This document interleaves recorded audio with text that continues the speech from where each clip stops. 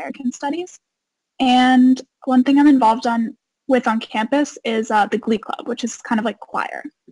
Yeah. Awesome. Where did you say that you were from again, Caroline? I didn't hear you.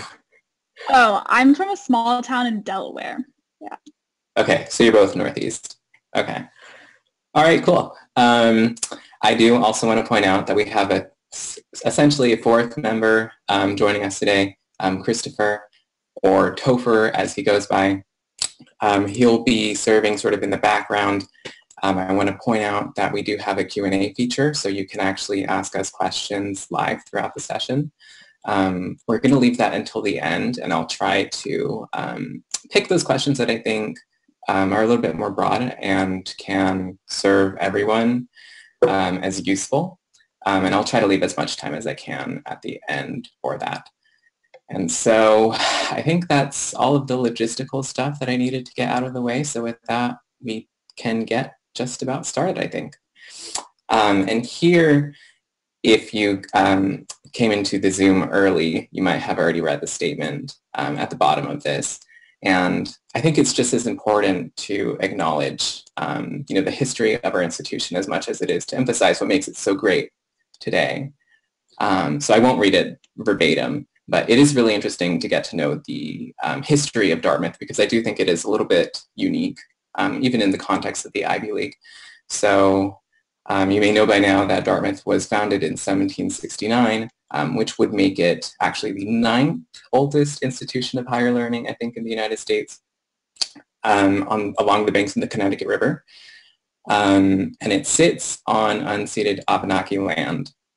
So Dartmouth did not necessarily do the best job at um, fulfilling its the mission that it was chartered for, which was um, essentially educating the Native American population of the, the greater region.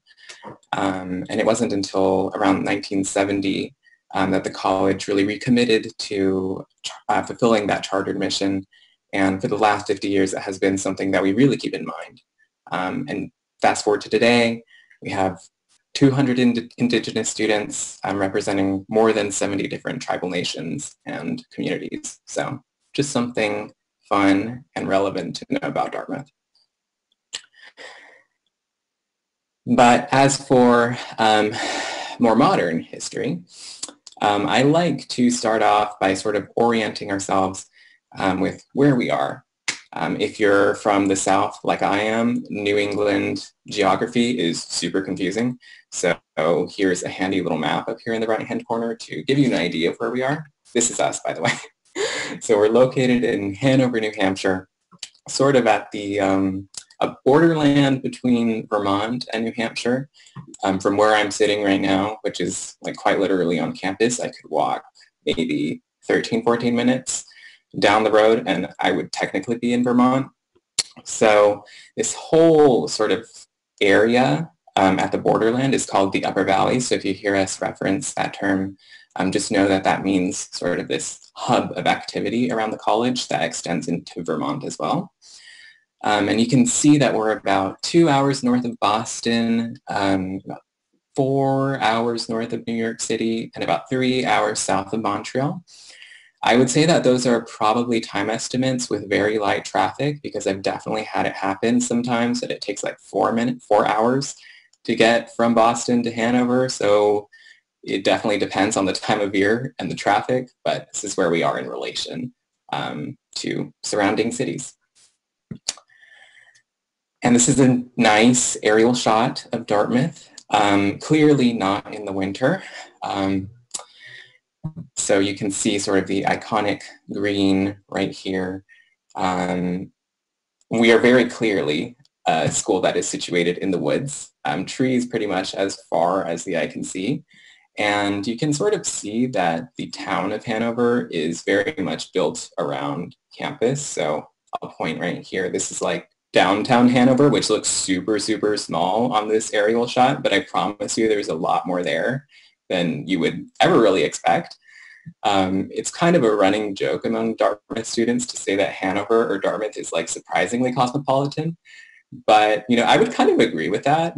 Um, the sort of selection of restaurants, even though we've had some closed for COVID, um, is pretty impressive for a small college town. Um, Hanover's population is only a little above 10,000, I think, so it's a pretty small town. Um, but we have modern luxuries such as the 24-hour CVS um, and some neat things that you might not know about this area. Um, we have the largest hospital, tertiary hospital north of Boston and south of Montreal. Um, and our Hood Museum, which is right here, um, is one of the largest collections in New England. So we're definitely out there in the woods, but um, it's sort of like urban woods. Even from where I am right now in my apartment, I can hear so much traffic on a daily basis. So it doesn't always feel, you know, like you're super isolated like you might think if you've never visited campus. Um, and this is a shot from the Connecticut River, which is like literally a 13 minute walk down the street. And you know, usually in pictures, things look better than they do in real life, but this does like not even do justice to the Connecticut River. It is absolutely stunning um, at any time of year, but especially I think during the summer and the spring. So this is what you would see if you walked um, just a little bit west of campus. And I want to take this opportunity to loop in um, Nicole and Caroline it sounds like you're both from the Northeast, but different parts of the Northeast. And um, I'm sure that you had your own adjustments as well. You know, different um, states are very different from New Hampshire and certainly from where we are here in the woods. So if you want to talk a little bit about what your experience was um, sort of coming to Hanover, New Hampshire from where it is that you're from, talk a little bit about um, your experience adjusting to it. We'll start with you, Nicole. Sure, yeah. So I come from kind of a suburb, a suburban kind of area. Um, and yeah, coming to Dartmouth was an adjustment because it was so rural. And I initially thought I wanted to go to a city and all that. But as soon as I visited Dartmouth, I kind of fell in love with the pastoral quality of it. Um, and the, the nature, I mean, it is really beautiful. I'm sure you'll hear people say that over and over again. Um, and for me, it was a really easy adjustment once you kind of get there. Um, there's lots to do in Hanover and there's lots to do on campus. So it kind of becomes um, becomes normal for you once you're there. How about you, Caroline? Did you have a different experience at all? I think I, so I guess maybe Delaware is technically the Northeast, but it gets cold there in the winter, but there's cold and there's cold. So I guess that the winter was maybe a bit more of an adjustment for me than people who come from New England proper. Um, but I think that there's a misconception that the winter sort of closes doors or that people have to stay inside. I felt like the winter really opened up opportunities for me. I learned to ski and there was so much sledding and skating and just the breathtaking beauty of the winter was really a surprise to me, a pleasant surprise. So I think winter is my favorite season in Hanover. Winter is indeed quite beautiful. I will say, I will insert myself at this one point. Um, this is my first year in Hanover, and I'm from the tropics, like literally the southern point of Texas. And it is definitely an adjustment, but I can confirm that winter is very much a beautiful season, um, possibly more beautiful than even like the warm seasons. Um, and you're totally right that, you know, things don't just like shut down like you might imagine. Um, you really do get used to the cold. Um, I would say for those of you who are coming from warmer climates like me, you probably want to get like really good snowshoes and a, a heavy coat. Um, but you would be very surprised at how far a good coat takes you. So it's really not that scary, I promise. Um, and another sort of um, interesting point of Dartmouth is, you know, we're not just situated in nature and like staring at it all day, staring at it all day. Um, yes, it is beautiful, but we also do try to use the, our surroundings as much as we possibly can. And some of the ways that we might take advantage of that, as you see here, um, Hanover is not exactly um, it doesn't really have like skyscrapers or nightlife. So there's not really much in the way of like light pollution. So, I mean, literally on a cloudless night, um, you could go out and you could actually see the stars with the naked eye, which is a really great sight. Um, but if you're someone who's really into like astronomy, um, studying the stars in the woods at the Shattuck Observatory is something that you could do. Um, something else is the organic farm, which is really, really cool. Um, it's a little bit ways off campus. It is still pretty close by though. Um, and maybe you're studying like sustainable farming practices here or bee colony collapse disorder. I will also note that um, I think it's a very important point that a good portion of the food that students eat in the dining hall does actually come from the organic farm. And I can confirm that the food is profoundly fresh and actually pretty good at Dartmouth. And I feel like not enough students ask about that. Um, so I do think that's just a fun little thing to note that, you know, if eating like locally and fresh is important to you, um, Dartmouth is a really great place for that. Another thing that is not really related to the trees and mountains that surround us, um, Dartmouth and New Hampshire in general is, I think, a lot more politically um, active than you might imagine, especially during um, an election cycle like we are in right now. So you might know if you follow politics that the New Hampshire primary is a pretty big thing. Um, and because of that, we had pretty much every major candidate, and I think like, almost every minor candidate that I can think of came through New Hampshire, um, even came to Dartmouth and like spoke here. I know many of my coworkers got their Warren selfies, so it is a really exciting place to be, um, especially during an election cycle. And the guy you see here, um, his name is Garrett Muscatel. He just graduated actually, but um, he served two years, his junior year and his senior year, um, actually as a Democratic member of the New Hampshire State House of Representatives, um, which is really impressive. And that just really goes to show you how far you can actually take politics here in the woods. Um, not that everyone who comes to Dartmouth will do that, but that just goes to show you um, you know, just how much you can do here um, where you wouldn't expect it. Um, and I think another thing to highlight is, you know, you might know that Dartmouth College calls itself Dartmouth College, not Dartmouth University, even though people call us Dartmouth University sometimes, and it's a little bit annoying. Um, but we call ourselves Dartmouth College very intentionally. Um, when we call ourselves Dartmouth College, we are kind of lying to you because Dartmouth is technically a university. We do have some graduate schools. We have a medical school. We have a business school, for example. Um, but Dartmouth College continues to call itself Dartmouth College very much intentionally um, because we want to put the emphasis on the undergraduate experience. Uh, Dartmouth is the smallest Ivy League school by a pretty good margin. Um, and we keep it that way because, you know, we want to have those close faculty-student relations and also to give an opportunity for students to really get to know each other. Um, I know every time that I'm walking across campus with a Dartmouth student, I feel like they say hi and stop to talk to like 10 different people, which is a little bit annoying, but um, it just really goes to show you how close-knit um, the group is here at Dartmouth because of its small size. And in terms of what the um, education looks like in that liberal arts college model, um, we have what are called distributive requirements. So it's kind of something in between like a core and a completely open curriculum. So we do give you some structure, but it's not so much structure that you have to take like one specific class. Um, you can see that we have really, really vague, like overarching umbrella distributive requirements. So we require, for example, um, two courses in the natural sciences. So if you're someone who is allergic to everything science, please don't panic because that does not mean that you have to take two courses in organic chemistry. I promise that's not the case.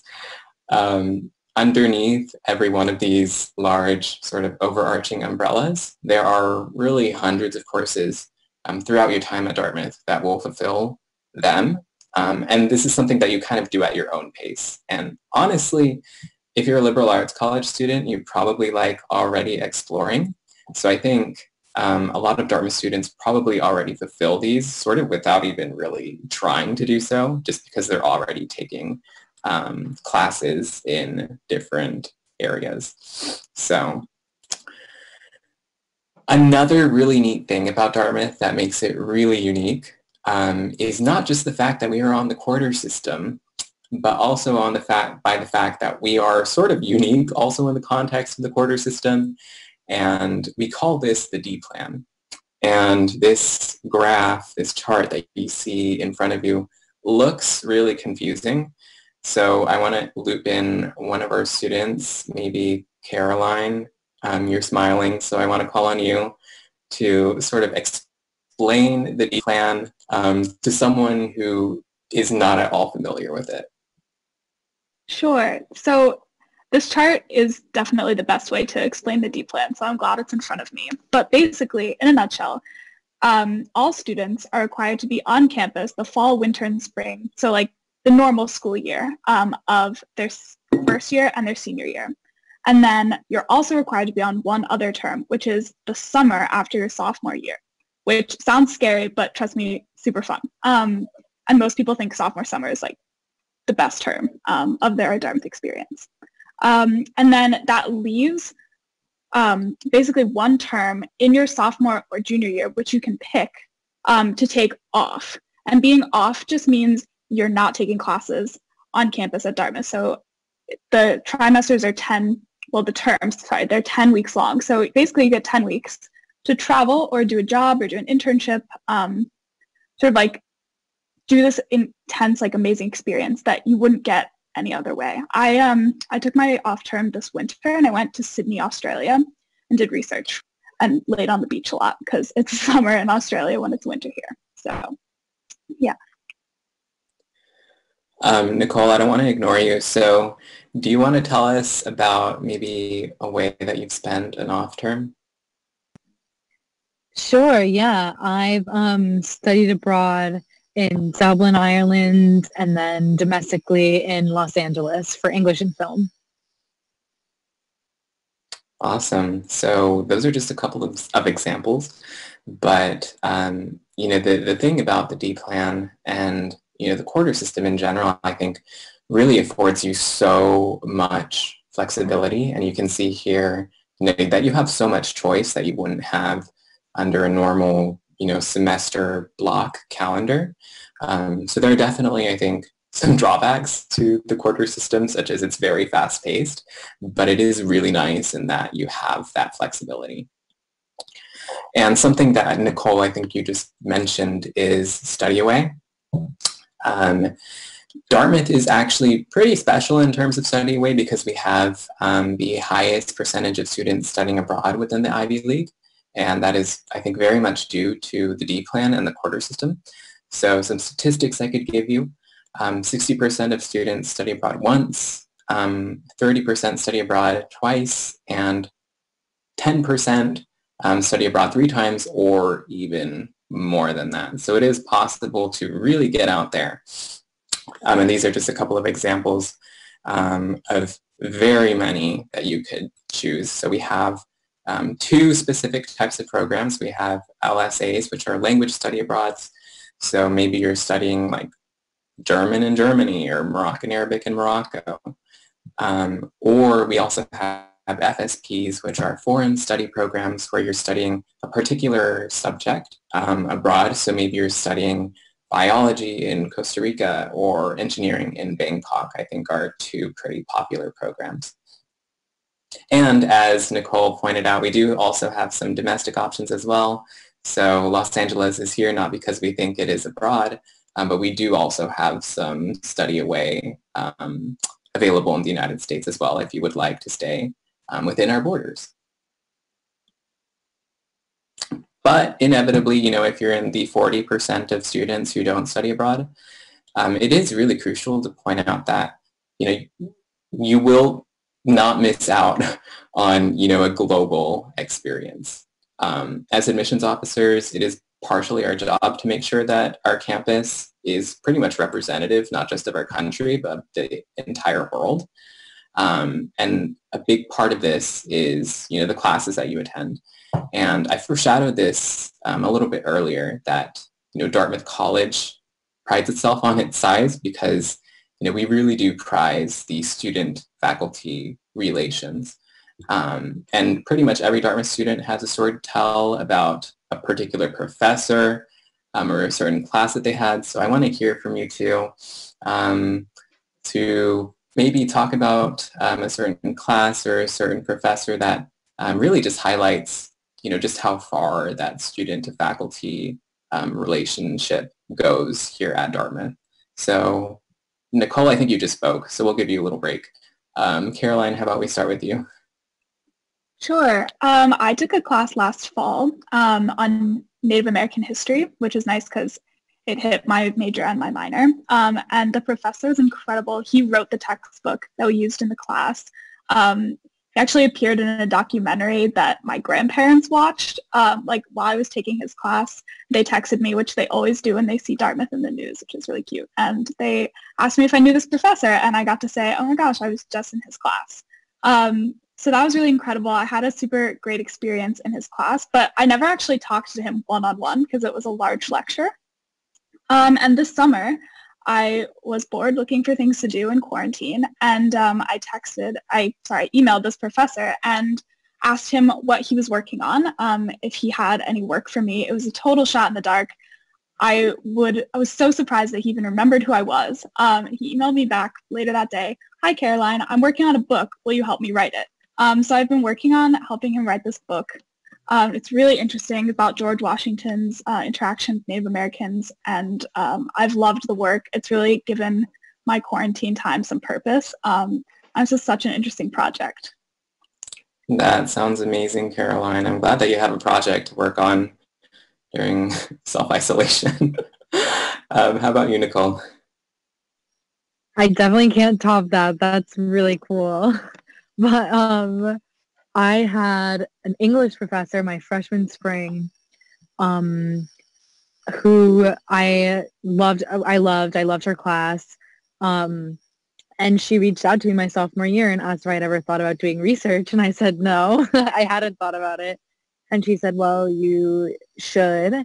And she said I should do whatever I was interested in and she would help me. So I ended up studying sexual violence in medieval literature um, which was so much fun. And she was an expert in medieval um, literature and Chaucer, um, which was an area of interest of mine. So I got to do research on that, which was really awesome. And yeah, professors are always super responsive to students, and even sometimes um, they push you and ask you to do things without you even asking them. Awesome. Thank you both for sharing a little bit. And like I said, every Dartmouth student ever, I think, has a story like this to share. Um, and these are just two of them.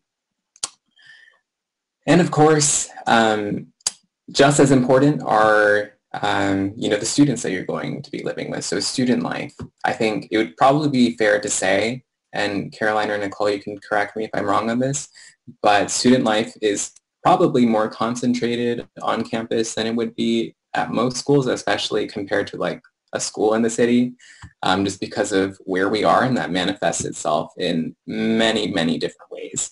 Um, and I want to give you two an opportunity to talk about something that you've been involved with. Um, you can tell us about an activity or a club or anything that you think is relevant um, and how you got into um, getting involved with that. Caroline, how about we start with you? Sure. So I mentioned earlier that I'm a member of the Glee Club, which is unfortunately not like the show in that we don't dance because I can't dance. Um, but I was a pretty serious singer in high school, and so um, being part of a choir in college was something that I really wanted to do. Um, and I'm so glad I did. Um, we do so many cool things. We perform like classical works, but my favorite part of being in Glee Club is that we're sort of the stewards of the old Dartmouth songs. Um, so not only the alma mater, but there's also like a ton of songs that were written um, way, way back in Dartmouth's history. And um, we get to sing every year at the homecoming bonfire, which is my favorite Dartmouth tradition. Um, we get to do the alma mater, and it's so fun to see all the alums come back and just the amount of school pride um, that Dartmouth people have for their schools. So fun to see. So, yeah, it's super fun. Thanks for sharing, Caroline. How about you, Nicole? Yeah, so I um, got involved with theater my freshman year. I had never done it before and really wanted to try it out. Um, and I've been acting kind of through my whole Dartmouth experience. Um, discovered like a whole new community, a whole bunch of new friends. Um, something I probably never would have tried, but it's such a like tight knit and welcoming group of people here. Um, so it's been really fun. Thank you both for sharing. And something else I want to point out um, in this picture that you might see, like these different colored flags here. And that's also something that's important to point out about Dartmouth, um, is it's sort of new residential college system, and these are sort of the emblems of a couple of the um, residential colleges. So um, this, like I said, this is kind of a new system, so I think it's still getting sort of like entrenched into Dartmouth culture. Um, but it is essentially, and I try to avoid saying this as much as I can, but it is like sort of a Harry Potter system. I know every school that has a residential college says that, um, but it is the best way to get across that idea. Um, so there are six of them. And essentially, before you get here as a freshman, you'll be like sorted into one of these six colleges that sort of have uncreative names that are maybe not as cool as like Slytherin or Gryffindor. Um, but it is the same idea and that will be essentially like your home base, your community for the four years that you are here at Dartmouth. So didn't want to forget to mention that. And Caroline, you were talking about like traditions and like the bonfire, which we don't have a picture of here, but there's like a massive bonfire that they put on every fall um, during homecoming, which is really, really cool. You would think it would be dangerous, but nothing has happened yet. Um, but that's just one example of the traditions at Dartmouth. And, you know, that I think is one thing that I would really um, point out about Dartmouth is how deeply its traditions run. Um, and it goes year round. Like we were talking about in the beginning, campus doesn't shut down during winter. Not at all. Um, here you can see some just pictures of general winter frolicking, but we have, um, it's called Winter Carnival, where students will build like these really impressive snow and ice sculptures um, with I don't know, like, do they have, do they not go to class or something? Because it honestly is really impressive what they can build. Um, and another tradition that is very much prized at Dartmouth and is at the center, I think, of the Dartmouth experience for a lot of people um, is called freshman trips, which is basically like a really, really amazing like freshman orientation trip. And it sounds kind of scary on the surface of it, but um, it's essentially like a group of undergraduates getting whisked away into the wilderness with a, with a pair of upperclassmen guides um, who are not paid, by the way. It's completely volunteer.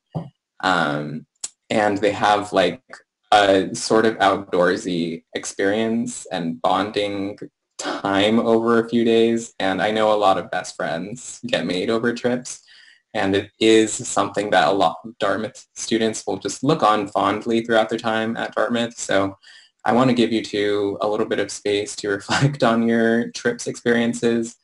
Um, no trip, I think, is the same. So Nicole, how about we start with you?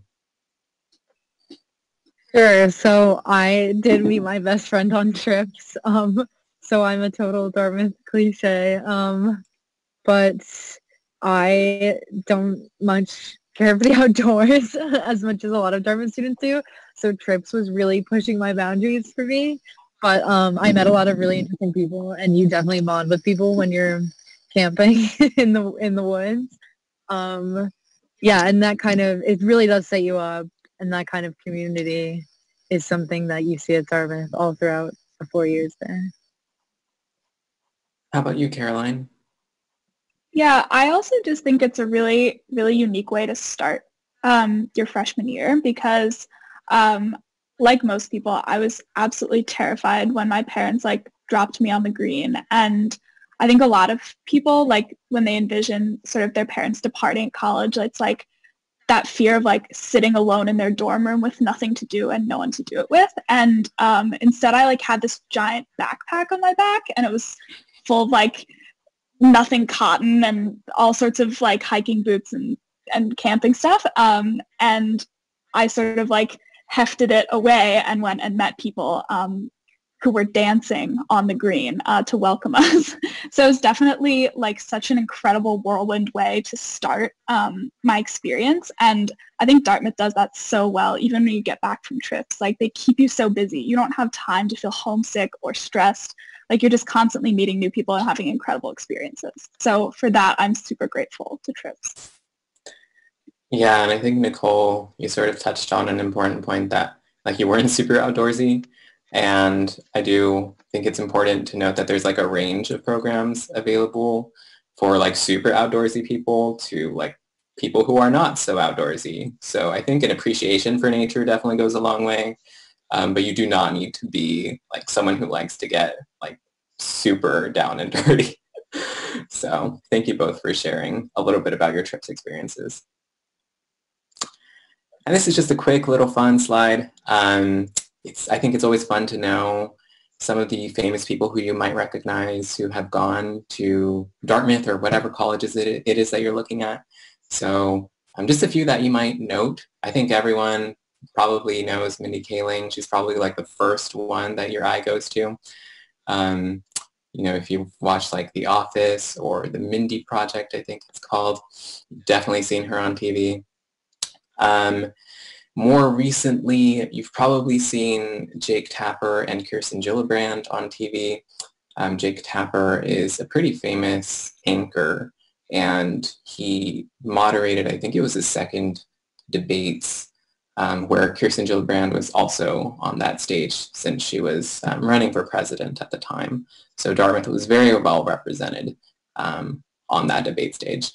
And it's always fun, I think, to know, you know, what these people studied. Like Mindy Kaling obviously knew what she was going for from the beginning, drama.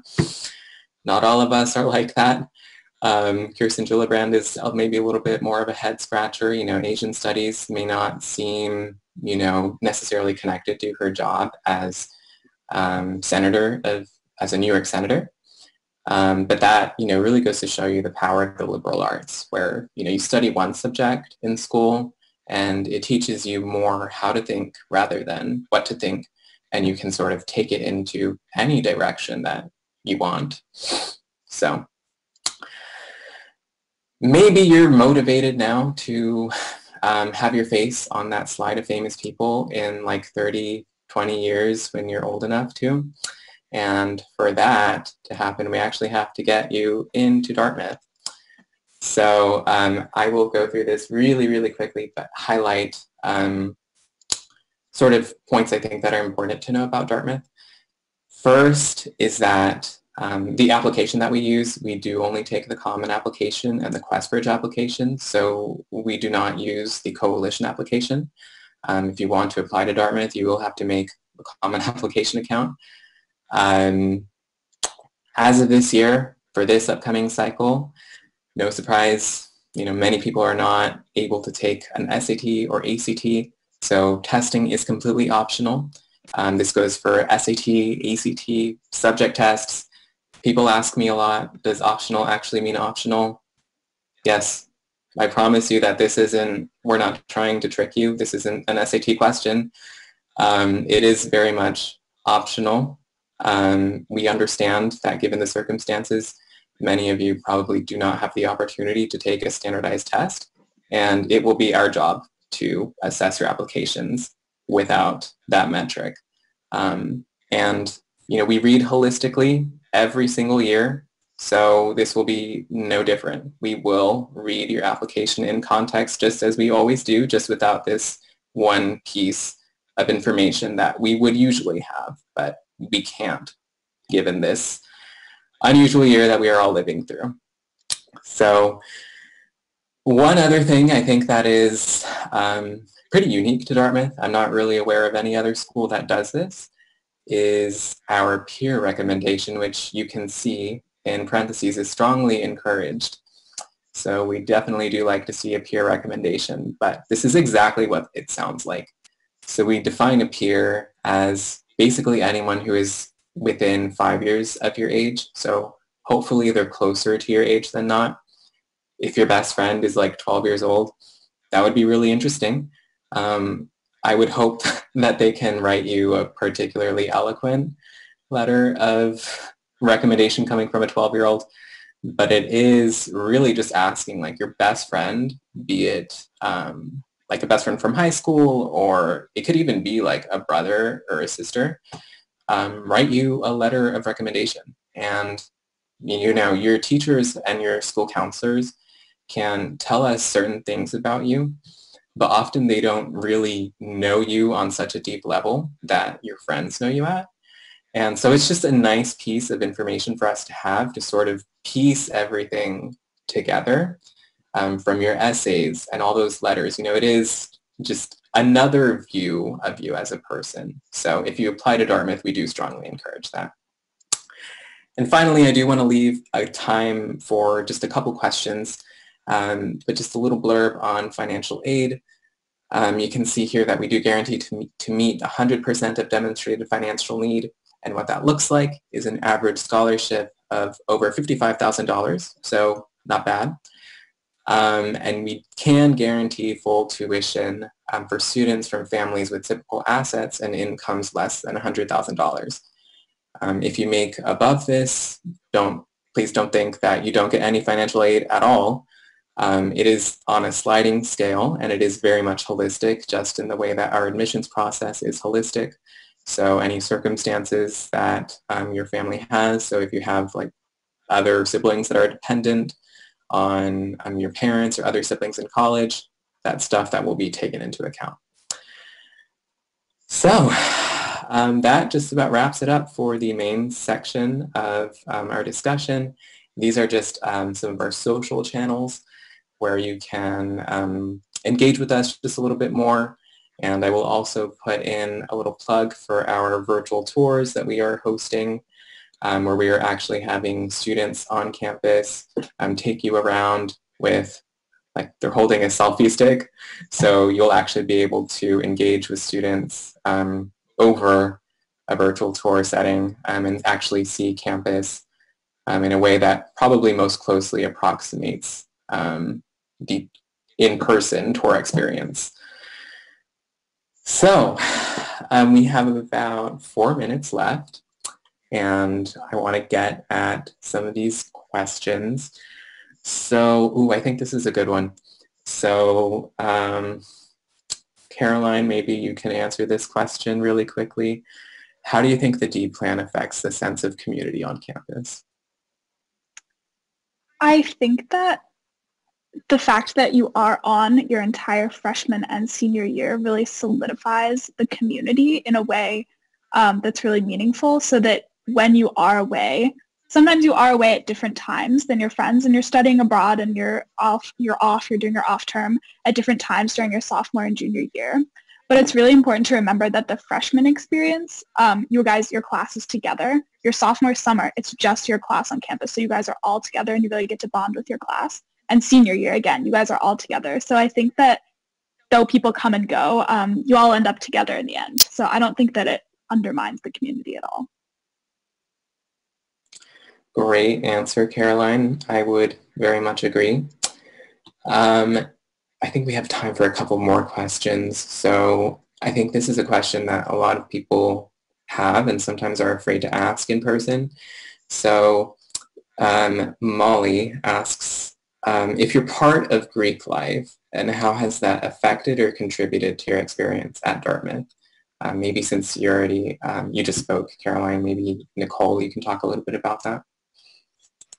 Yeah, um, I'm not involved in Greek life. Um, it's definitely a big part of the social scene on campus. But um, I mentioned I was involved in theater, so I have a lot of um, a lot of friends in a community through that, and then I've made friends within my major and with other people. Um, so definitely, you're not going to be socially like left left with nothing. Um, but there are lots of students who are involved. I believe the statistics is 66% of eligible students are affiliated. Um, and definitely everyone has um, their their own experience and kind of Greek life is um, what you make of it. Yeah, I think that's kind of an overarching theme a lot of the time is, you know, it's sort of pick your own adventure at Dartmouth. You know, you can be affiliated or you can also not be. And there are, there's a substantial population of students who will also not be affiliated. Um, so thank you for talking about that a little bit, Nicole. And I think it would be nice to wrap this up with maybe why you two chose Dartmouth. Um, I know we don't have time to get to every single question as we had over 200 participants, so I'm sorry that we couldn't get to everything. Um, but Caroline, maybe we can start with you.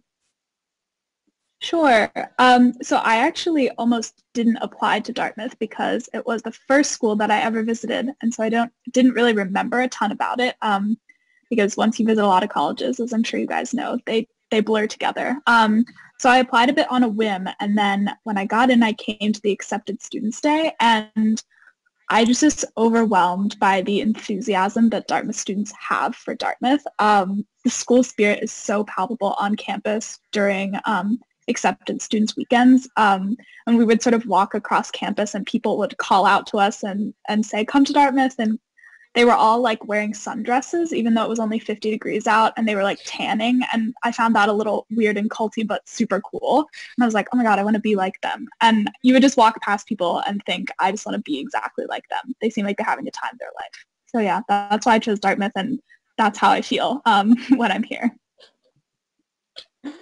Thank you for that honest answer, Caroline. um, how about you, Nicole? I actually, Dartmouth was the first school I visited too, and also the last because I came back again um, to make sure. And um, I too was kind of just taken in as soon as I stepped onto campus by like the people and their passion and their willingness to kind of talk to me, a prospective student who they had no need to be talking to. Um, and um, it's really a beautiful place and you can tell that people are really enthusiastic about welcoming you there, um, which to me was really exciting. All right, I think that ends us on a really great note. Thank you both for joining us tonight um, and sharing a little bit about your Dartmouth experiences. I feel inspired myself and like I've learned a little bit, so thank you for sharing. Um, and thank you for going through the questions in the background. Topher, I see you've been working very hard. Um, if, we didn't get to your question, um, please feel free to email us at reply at dartmouth.edu. And we monitor that pretty well. So we will get you a response um, either from an admissions officer or a student um, as soon as we possibly can. So I think that just about wraps it up. And um, thank you all for joining us tonight and have a good rest of your evening.